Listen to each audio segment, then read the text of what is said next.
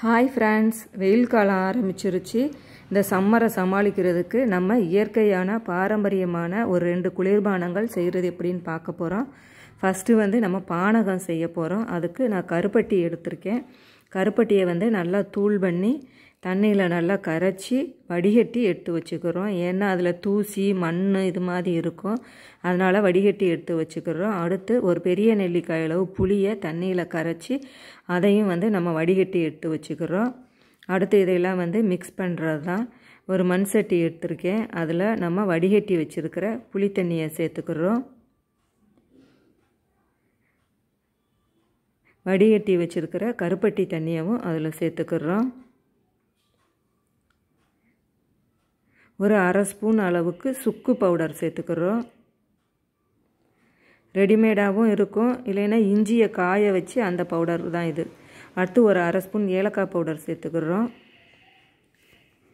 ஒரு அரை எலுமிச்சம்பழத்தை நல்லா ஜூஸ் பிழிஞ்சு இதோட சேர்த்துக்கிறோம். புளியோட அளவை குறைச்சிட்டு நம்ம எலுமிச்சம்பழம் சேர்த்துக்கிறது உடம்புக்கும் ரொம்ப நல்லது தான். இப்போ நம்ம இயற்கையான குளிர்பானமான பானகம் ரெடி ஆயிடுச்சு. இது வந்து முந்தி கிராமத்துலலாம் வந்து அதிகமாக இதை செய்து சாப்பிட்ருக்கோம். இப்போ அடுத்து ரெண்டாவதாக வந்து நம்ம நீர்மோர் செய்கிறது எப்படின்னு பார்க்க போகிறோம் அதுக்கு நான் ஒரு இரநூறு மில்லி அளவுக்கு கட்டி தயிர் எடுத்திருக்கேன். அதில் உங்களுக்கு தண் எவ்வளவு தண்ணியாக வேணுமோ அந்த அளவுக்கு தண்ணி சேர்த்துக்கலாம். நான் வந்து இப்போ ஒரு அரை லிட்டர் அளவுக்கு தண்ணி சேர்த்துக்கிறேன் இதில்.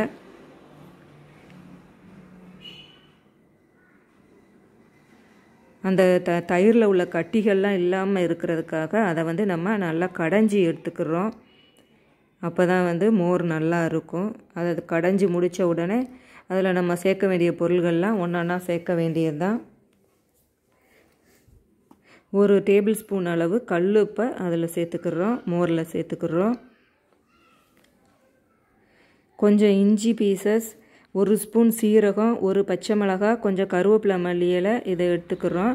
இது இன்றைக்கி வந்து நான் அப்படியே தான் சேர்க்க போகிறேன் உங்களுக்கு வந்து மோர் ஸ்ட்ராங்காக வேணும் ஃப்ளேவராக வேணும் அப்படின்னு நினச்சிங்கன்னா இதையெல்லாம் வந்து மிக்சியில் அடித்து அந்த ஜூஸை மட்டும் இதில் சேர்த்துக்கோங்க. நல்லாயிருக்கும் ஸ்ட்ராங்காக இருக்கும் ஃப்ளேவராகவும் இருக்கும்.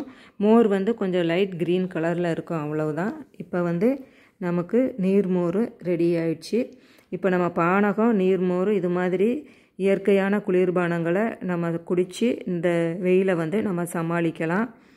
இது வந்து இப்போ வரப்போகிற திருவிழாவான பங்குனி பொங்கல் சித்திர பௌ பௌர்ணமி சித்திர வருஷப்பிறப்பு இது மாதிரி திருவிழாக்களில் கோயில்கள்லையும் நிறைய ட்ரம்முகளில் வச்சு நீர்மோரும் பானகமும் கொடுப்பாங்க. பொதுமக்களுக்காக கொடுப்பாங்க. பிரசாதமாக கூட கொடுத்துட்ருக்காங்க இப்போ என்னோடய வீடியோ வந்து உங்களுக்கு பிடிச்சிருக்குன்னு நினச்சேன். என்னோடய வீடியோ பிடிச்சதுன்னா லைக் பண்ணுங்கள் ஃப்ரெண்ட்ஸ் அண்ட் ரிலேட்டிவ்ஸ்க்கு ஷேர் பண்ணுங்கள் சப்ஸ்கிரைப் பண்ணுங்கள் பக்கத்தில் உள்ள பெல் பட்டனை கிளிக் பண்ணி ஆளுங்கிற ஆப்ஷனை கிளிக் பண்ணிக்கோங்க. எல்லோருக்கும் ரொம்ப நன்றி.